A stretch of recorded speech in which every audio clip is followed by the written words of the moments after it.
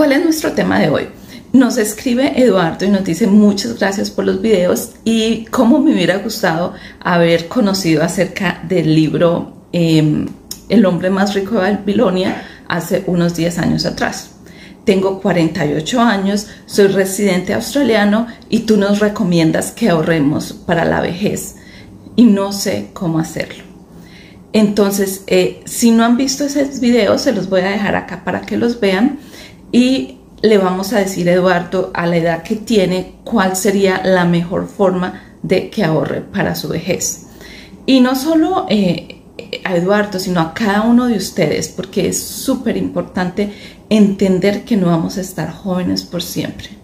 Y cuando estamos en lo que llamamos nuestros producting years, que son los años nuestros 30, nuestros 40, tenemos que estar conscientes que tenemos que ir creciendo eh, esos ahorros para cuando llegue nuestra vejez y, tener un mejor nivel de vida. Entonces, el tema de hoy va a ser la superannuation en Australia o llamémoslo la pensión. Em, entonces, ¿qué es esto? ¿O cómo se come o cómo empezó? Eh, el sistema de pensión empezó en los años 90 eh, entonces eh, el gobierno se dio cuenta que sería imposible y financieramente imposible sostener la pensión de toda la, comunidad y especialmente en Australia donde la comunidad mayor sigue creciendo y digamos duran muchos más años. Entonces se creó la superannuation eh, y ha tenido muchas, muchas reformas. Creo que la reforma más importante fue en el 91 cuando se creó, lo que llamamos el Superannuation Surcharge. ¿Qué es esto? Esto quiere decir que todas las personas que trabajan eh, con Tax Number, los empleadores tienen la obligación de colocar un 9.5 encima del salario a un fondo de pensiones.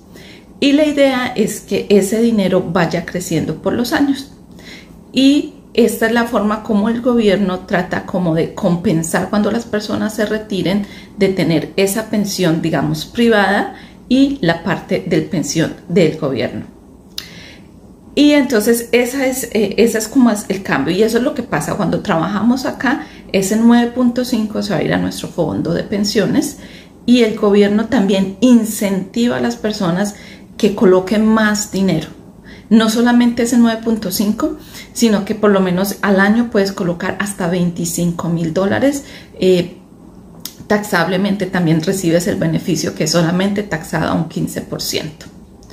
Entonces, esa es la superannuation en Australia, donde el gobierno ha incentivado y ha creado este sistema donde los empleadores pagan la pensión por los empleados y los colocan en este fondo de pensiones.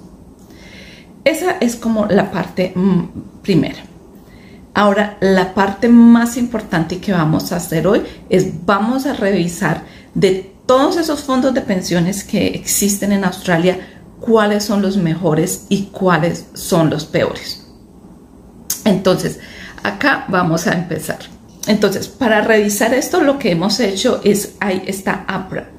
APRA, ¿quién es? Es como el regulador de los superannuation funds y ellos colocan cada año una lista de los mejores y los peores. Y la idea de esto se creó precisamente para como no solamente premiar a los buenos, sino más bien como los que son lentos y son malos superfans, como colocarlos en la lista negra y que la gente no invierta y así motivar a todos los superannuations a que se vuelvan, digamos, mejores. Entonces, ¿cuáles son los peores en este momento? De acuerdo a APRA al 30 de junio del 2020. Tenemos Energy, Energy Industry Superannuation Fund Scheme con el producto que se llama Balance My Super. Este solamente está dando un retorno del 6.19. Segundo, tenemos Maritime Super Fund My Super Investment Option. Ese es el producto y ese solamente da un retorno del 6.23 y tenemos Towers Watson Superannuation Balance y ese nos da un return del 6.54. Estos son los con los menos returns. Y ahora vamos a ver cuáles son los mejores. Tenemos Host Plus Balance Option que nos da un return del 9.65. el Best Superannuation Fund Golden Sachs and GB Ware con el 9.63 y Australian Super Fund with Australian Super My Super es el nombre del producto con el 9.48 entonces acá están los tres.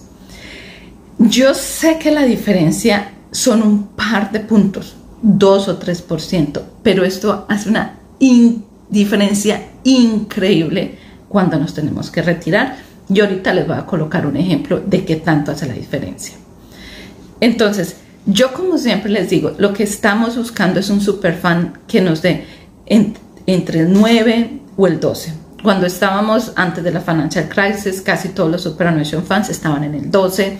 Después, obviamente, con el superannuation, eh, con, con, la crisis bajó. Pero uno lo que quiere es que en un, en un retorno de unos 5 o 10 años quiere ver por lo menos un alrededor del 10%. Bueno, entonces ahora vamos a hacer un ejemplo de lo que les decía, la diferencia que puede hacer dos o tres puntos de rendimiento en tu Superannuation Fund. Entonces, acá tenemos el mejor. Entonces, acá tenemos el, que nos da el 9.65.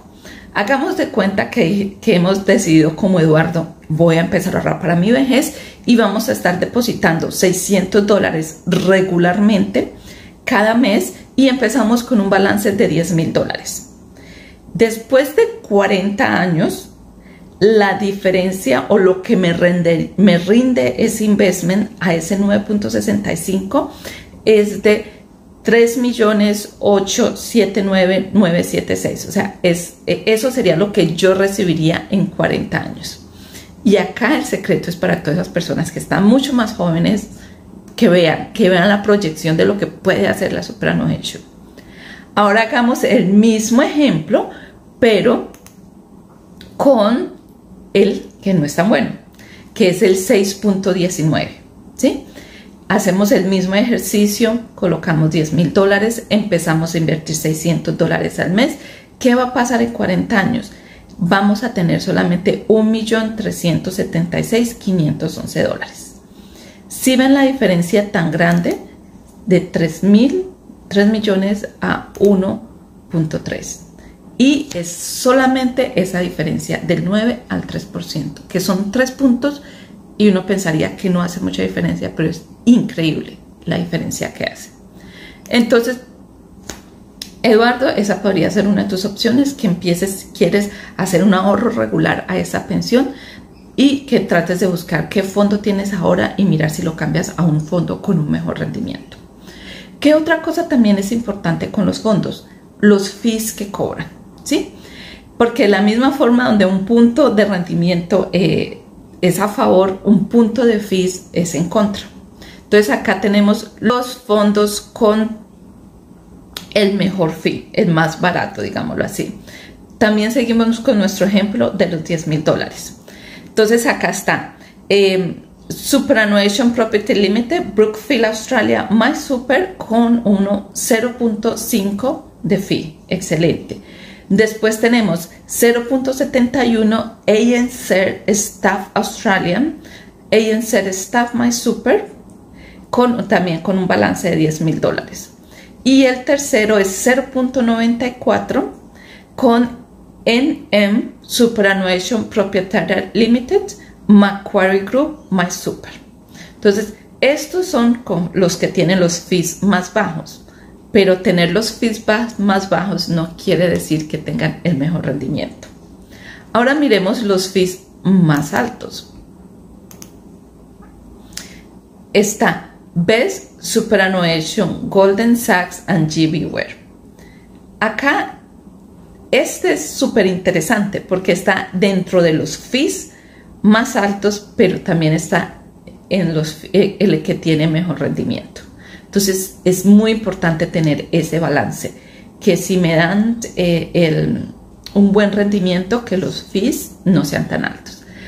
Yo considero que un fee entre el 1 y el 2 máximo es razonable y siempre quiero tener un rendimiento de un 9 o un 10%. Sigamos acá. ¿Cuál es otro con los fees más altos? Tenemos ING and MRMA Superannuation Proprietary Limited con el 2.59 y tenemos Bass Queensland Proprietary Limited eh, con el 2.20. Entonces, estos son los fondos con los fees más altos. Eh, entonces, esos, es como los dos factores que tenemos que considerar cuando vamos a escoger el superannuation. Y como les decía, el gobierno incentiva que las personas coloquen más dinero y ese dinero se quede taxeado solamente al 15%. ¿Qué tenemos que tener en cuenta en, en, en, esta motivación de que ellos quieren hacer esto de que coloquemos el dinero en el super? Tristemente ahora los interés rates están muy bajitos y en este momento tú puedes estar recibiendo menos del 1% si tienes los mismos 10 mil dólares en tu cuenta de ahorro a que si lo pasas a tu superfan, ¿sí? Entonces, al menos de que tú seas un muy buen investor y esos mismos 10 mil dólares que tienes sentados en tu cuenta bancaria los coloques a producir de tal forma que te vaya a dar un rendimiento de un 9 o 10% anual, ese dinero va a estar mejor invertido en el superannuation. Obviamente, asumiendo y teniendo en cuenta que eso solamente lo vas a poder retirar cuando llegues a la edad de 60 años. Esto va a ser ahorro para la vejez. Pero por lo menos acá lo que yo les digo, a gente que se va a gastar dos mil dólares, no sé, en, un nuevo, en un nuevo furniture o en un bolso, o cojas esos dos mil, tres mil dólares, colóquelos en el super y en 10, 20 años eso les va a multiplicar acá. Entonces, ahora vamos a mirar qué tanto nos incentiva el gobierno. Entonces, acá les tengo la tabla y han sido 25 mil dólares eh, cada año. Y también lo que en este año que tenemos es que si a veces no alcanzamos a colocar los 25, ellos dicen, listo, por estos últimos tres años se los voy a acumular y digamos, si no coloqué 25 en el 2019, ellos dicen, ok, en el 2020 puede colocar 50. Pero es solamente por estos tres, tres años. Em, y hay otra opción de colocar dinero, que es lo que llamamos dinero que ya haya pagado impuestos, lo que les decía, lo tengo en la cuenta de ahorros, no sé qué hacer con él, no lo sé invertir, entonces se lo voy a colocar a mi Superannuation Fund que hace un mejor trabajo y aquí están los caps, podemos colocar hasta 300 mil dólares y de ese dinero y invertirlo de una mejor manera. Bueno, entonces Eduardo, espero que tú que eres residente, esta información te sirva y te guíe un poquito de, cómo puedes mejorar esos ahorros para, para tu vejez. Ahora vamos a hablar de estas personas que no son residentes, que tienen, que tienen visa temporal, que estamos los estudiantes, la gente que tiene Working Holiday, la gente que tiene Working Visa. Entonces, el sistema funciona lo mismo, el empleador le va a colocarle el 9.5 al fondo de pensión. La única diferencia acá es que cuando somos temporales y salimos de Australia, podemos sacar el superannuation, nos devuelven el 65% y cuando tenemos working holidays nos devuelven el 35%. Bueno, espero que les sirva mucho esta información. Como siempre, una disclaimer, mm, esto no es financial advice, esto es solamente información general. Usted tiene que mm, preguntarle a un financial advisor cuando quiera tomar las decisiones. Pero esta es una información general y también para responder la pregunta de qué fondo es mejor. Entonces, de acuerdo a APRA, con el último resumen que sacaron, acá les volvemos a dejar los tres fondos que son los mejores. Y también escriban las preguntas que tengan, cosas que necesiten saber eh, para poder ayudarlos un poco mejor. Bueno, chao.